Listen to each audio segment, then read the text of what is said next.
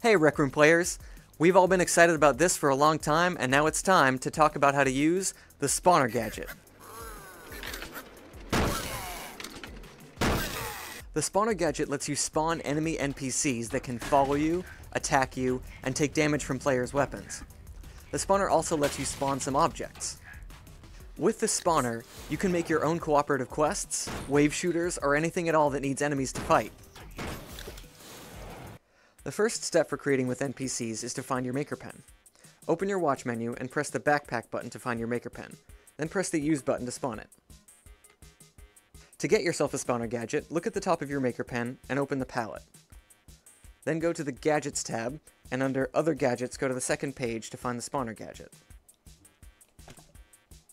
Let's start by spawning our first enemy. Use the Configure tool on the spawner gadget to open the Configure menu. We need to tell the spawner what it should be spawning here in the first panel where it says Object. I'm going to select one of these little explosive bots that are always killing teleporters in Jumbotron. Send a signal to the red input pin to start the spawner. I'm going to do this using this button prop, which you can find by searching for it in the palette. The button's red output pin will send a signal when I press it, so now I'll use the wire tool to get ready to send a signal to the spawner. Now, when I press the button, the spawner activates and an NPC appears. So what's this notification? It says, no nav mesh present for AI, and it tells us to go into the watch menu. That's referring to the AI nav mesh. We'll follow those instructions and talk about the nav mesh a little bit later. Back to configuring the spawner. Spawners don't need to do only one enemy at a time. They let you spawn entire waves of enemies. To spawn a wave, just increase the number to spawn setting. The spawner needs a little bit of time between spawning each enemy, and you can adjust that, but the minimum is 2 tenths of a second.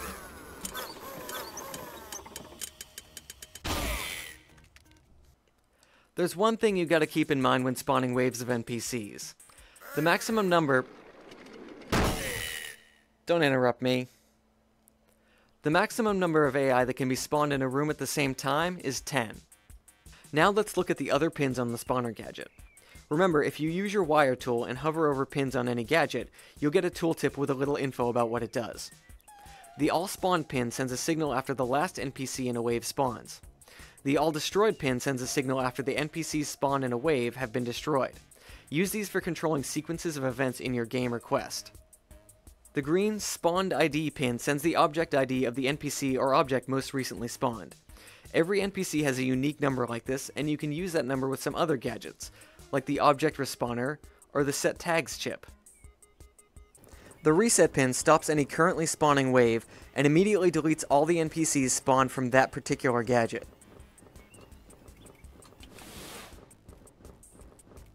The spawner gadget has a couple more useful features. First, you can tell the gadget to add object tags to NPCs as they spawn. Just make sure to tick this box that says Apply Tags to Spawned Objects. And then go to the next page and find the Edit Tags button.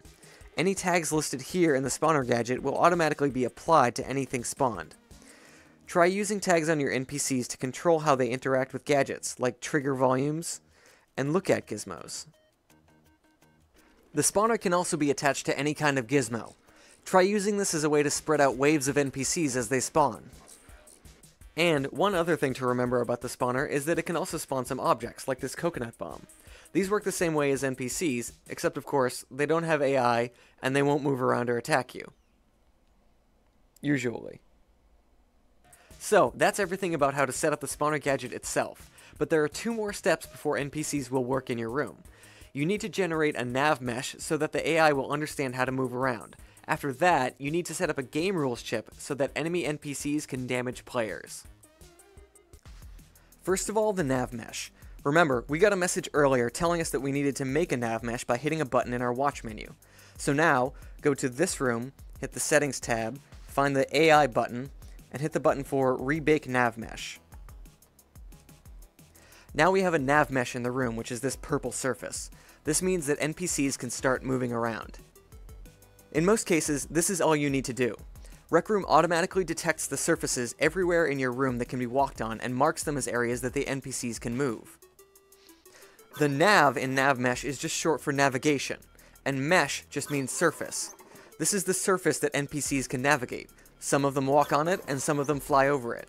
The basic idea here is that if a surface doesn't have NavMesh on it, then NPCs can't go there. As long as you remember to hit the Rebake NavMesh button after you edit the environment of your room, then NPCs will be able to move around as you would expect. Creators also have the ability to control where the NavMesh appears, and there are two ways to do that. First of all, you can move and resize this white box. This is a volume that generates the nav mesh. We call it the nav mesh bake volume. And it automatically spawns the first time you generate a nav mesh. When you hit the rebake button, Rec Room will automatically ignore all the surfaces outside of the nav mesh bake volume. Use the manipulate tool to move the top, bottom, and sides of the volume to exclude parts of your room from the nav mesh generation process. You can also configure objects one by one to handle the nav mesh differently. For example, the nav mesh wants to generate on top of this rock, but I would prefer NPCs to walk around it rather than on top of it. To change that, I'm going to open the configure menu on this rock and go to the last page where we see an options panel that says nav mesh generation mode. Remember, if you hover your finger or cursor over any button, you'll get a helpful tooltip. All environmental objects default to generate.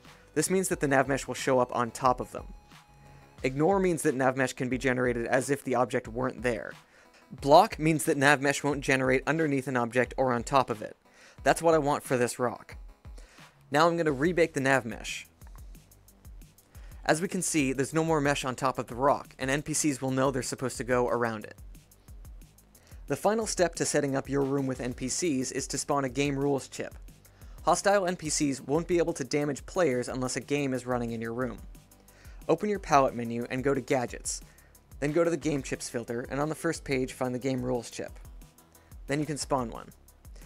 The Game Rules chip has lots of options to configure, but if you want to get started right away, a new chip with the default settings works fine.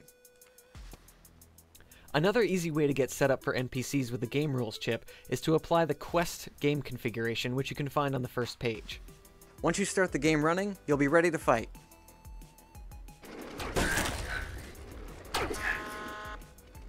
And that is how to set up NPCs in Rec Room. If this video is helpful, please give it a like. And subscribe to Rec Room for more tutorials and lots of fun videos.